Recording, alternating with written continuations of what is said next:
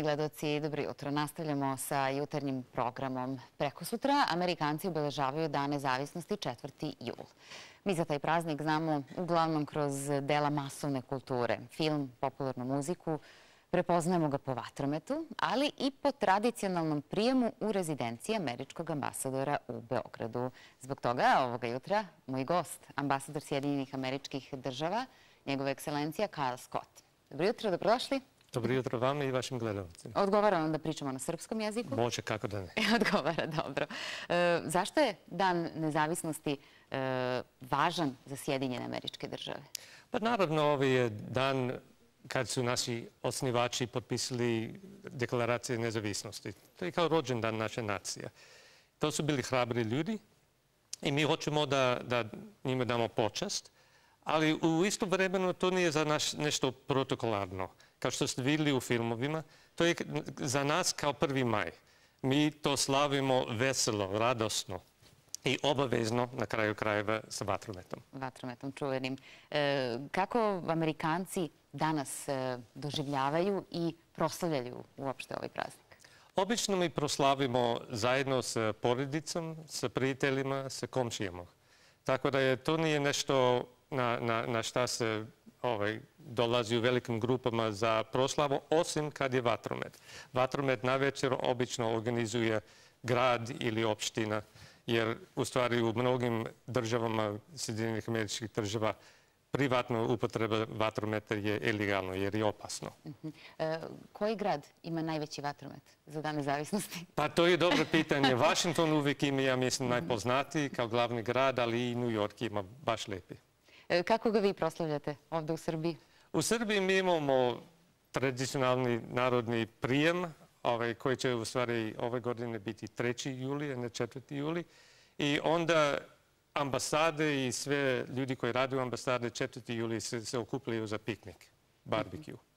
Dobro, piknik u dvorištu ambasade. Tako je. je da. U stvari u dvorište moje kuće, moje rezidencije. Vaša rezidencije. E, odnosi Sjedinjenih američkih država i Srbije e, posebno su intenzivni, neprestano analizirani, možemo slobodno da kažemo, posljednje dve decenije, ali u suštini ti odnosi traju mnogo, mnogo duže. Pre 100 godina, 28. juna 1918. godine, u Beloj kući, odnosno na Beloj kući. Prvi put u istoriji e, viorila se jedna strana i to srpska zastava. Tako je. U stvari to je 28. juli bilo, ne 28. E, jula, moje ali, ali, ali da, to je prvi put u našoj istoriji. Samo dva puta u istoriji je bila strana zastava nad Beloj kući. Tako da je to bio znak predsjednika Wilsona Wilsona njegov, da, da iskaže poštovanje srpskom narodu za žrtvovanje za vreme Prvog svjetskog rata. Jednom srpska, drugi put francuska. I to je, i to je sve. I, i to je, I to je sve. sve. I u stvari, zbog toga, zbog toga da je ove godine 100 godišnjice e, tog datuma, mi imamo cijeli red programa koji proslavimo odnose Amerika i, i, i Srbije za vreme Prvog svjetskog rata, ali i poslije. Imamo putujući izložbu sad o umjetnici Malvina Hoffman, čiji plakati Spasite našeg savjetnika Srbije su bili poznate za ono vreme za prikupljanje doprinosa za Srbiju. Imamo, ja sam otvorio prošle nedelje isto izložbu o arhivskim materijalima za, za istorije američke srpske odnose, tako da imamo cijeli red. Nastavit ćemo uh, da pričamo na tu temu. Uh, pre toga da vidimo jedan video zapis koji je pripremila ambasada na tu temu. Hvala.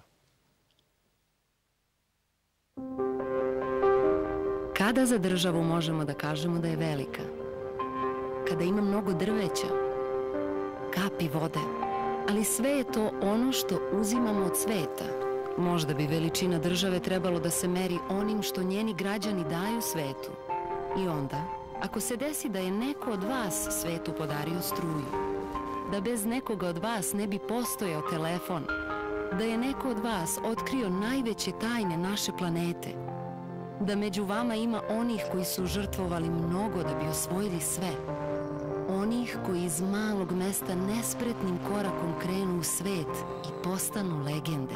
I onih zbog kojih su legende iz sveta umetnosti dolazile kod vas. Da je neko od vas pomogao svetu da razume život. i smrt i večnost. Ako se sve to desi, mogli bismo da kažemo da je vaša zemlja zemlja ljudi i njihovih velikih snova. Neki snovi počnu u Srbiji i menjaju živote ljudi oko vas. Neki snovi promene Srbiju. Neki snovi iz Srbije promenili su čitav svet. Zbog svega toga, vi ste svet. E, ovo je samo e, onaj vidljivi deo projekta e, koji, e, kojima se obeležava e, ova stogodišnjica. Napomenuli ste neke stvari koje su do sada bile uznak jubileja priređene. Šta je to još što nas očekuje i koliko će to trajati obeležavanje? U stvari će trajati cijelu godinu programa. Mi radimo isto zajedno sa gradom Beograda i sa vladom Srbije. Oni su odlučili da podigne statua za Woodrow Wilsona tu u, Beogradu, da će opet imenovati jedan trg, trg Woodrow Wilson, a mislim isto da će biti jedan bulevar imenom Woodrow Wilsona obeležen ove godine.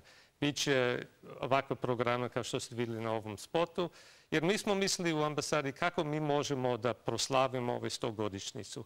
Najbolje da radimo istu stvar što je Woodrow Wilson radio prije 100 godina. Da iskažemo čast i, i, i da, da podajemo poštovanju srpskom narodu. E, da li nedavnija je izjava e, koja glasi hoćemo da ohrabrimo i Beograd i Prištinu da dođu do kompromisa. Neće biti nikakvog dogovora bez kompromisa.